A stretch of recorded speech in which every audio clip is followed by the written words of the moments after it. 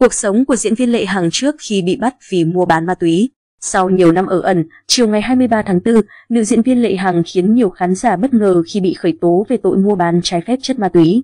Năm 1997, bộ phim Xin Hãy Tin Em lên sóng truyền hình quốc gia và trở thành một trong số những bộ phim kinh điển nhất về chủ đề đời sống sinh viên.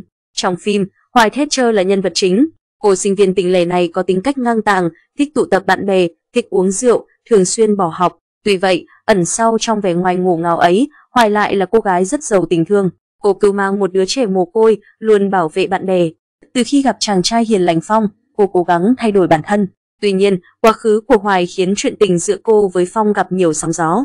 Cho đến nay, bộ phim Xin Hãy Tin Em và hình ảnh nhân vật Hoài, Thatcher vẫn in đậm trong tâm trí của những khán giả yêu phim truyền hình Việt thuộc thế hệ 7X, 8X. Thủ vai Hoài Thatcher là nữ diễn viên Lệ Hằng. Năm đó, Lệ Hằng chưa đầy 20 tuổi và là sinh viên năm nhất của trường sân khấu điện ảnh. Lệ Hằng tên thật là Bùi Lệ Hằng, quê Tuyên Quang. Năm 1995, cô có vai diễn điện ảnh đầu tiên trong bộ phim bản tình ca trong đêm.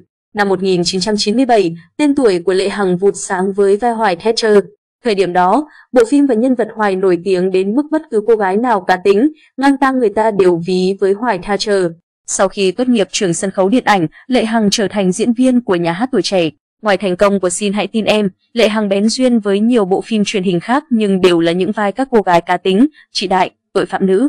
Dấu ấn của Lệ Hằng với điện ảnh phải kể đến các vai diễn như Bảo trong Những ngọn nến trong đêm, Thanh sói trong Cổ cồn trắng, Ban trong Chuyện phố phường, Túy trong Phi đội chuồn chuồn. Tuy nhiên, chính Lệ Hằng cũng thừa nhận Hoài Thatcher là một cái bóng quá lớn khiến cô không thể vượt qua được. Về đời tư, Lệ Hằng lên xe hoa khi còn đang là sinh viên trường Đại học Sân khấu Điện ảnh Hà Nội. Chồng cô làm nghề kinh doanh tự do, cả hai có với nhau một cô con gái xinh xắn. Nữ diễn viên từng kể rằng chồng ủng hộ việc cô duy trì hoạt động nghệ thuật. Chính vì thế, ông xã luôn phụ vợ chăm sóc con gái. Thời gian khi còn hoạt động nghệ thuật, Lệ Hằng từng trải lòng. Nhiều năm sau khi phim Xin Hãy Tin Em đóng máy, cô nhận thêm nhiều vai diễn khác nhau, đóng nhiều phim khác. Nhưng gặp ngoài đường, khán giả chỉ gọi với cái tên duy nhất là Hoài Thatcher. Nữ diễn viên từng tâm sự, thu nhập từ nghề diễn không đủ để cô trang trải cuộc sống. Theo chia sẻ của Lệ Hằng, ở thời điểm 2007, mức lương của cô chỉ là 500.000 đồng mỗi tháng. Nói về số lượng ít ỏi này, nữ diễn viên nổi tiếng một thời ngậm ngùi, nếu không có chồng, tôi chết đói. Thậm chí mẹ chồng cũng hết lòng ủng hộ, Lệ Hằng từng chia sẻ về gia đình, rất may là gia đình chồng rất hiểu và thông cảm cho nghề nghiệp của mình. Vì thế, mình càng luôn cố gắng làm tròn trách nhiệm với gia đình bên nội. Dù được gia đình ủng hộ việc đóng phim nhưng năm 2012, Lệ Hằng tuyên bố giải nghệ, cô cũng rời nhà hát tuổi trẻ và sau đó sống kín tiếng. Cô không tham gia bất cứ sự kiện giải trí nào. Khán giả, đồng nghiệp gần như không hay biết cuộc sống của cô trong những năm qua như thế nào. Ngày 23 tháng 4, thông tin cựu diễn viên Bùi Thị Lệ Hằng bị bắt vì buôn ma túy khiến công chúng không khỏi sửng sốt, xót xa.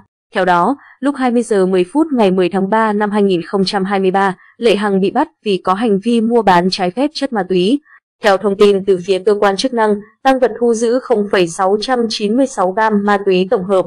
Lệ Hằng khai nhận số ma túy trên mua với giá 500.000 đồng để bán lại cho khách.